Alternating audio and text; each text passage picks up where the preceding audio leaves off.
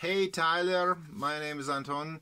Now before packing I'm going to show you your instrument, your Dorian Avlos. It is inside of this hard case. Open it. There is two pipes. Uh, both pipes has uh, three finger holes. Uh, low pipe it's a bit thicker, it plays notes A, B, C, D. And high pipe uh, it plays notes uh, E, F sharp, G, high A. To create sound you have to put reed into a mouth. There is a bit special reeds. It's it's a bit curved. It's easy, more easy to hold it in the mouth. It's uh, my special trick.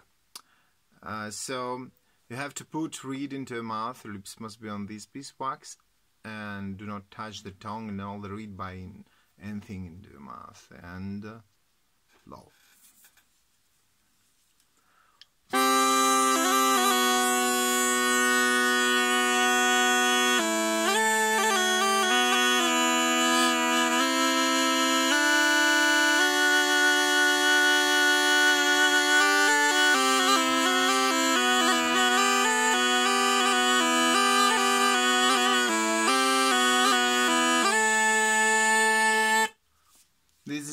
The sound of your instrument.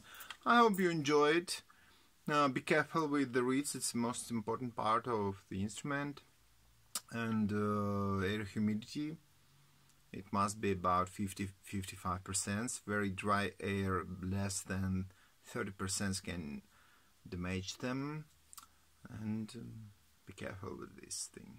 It's very important. Watch my video how to tune and operate the reeds. It's um, uh, this you have to get this skill it needs time.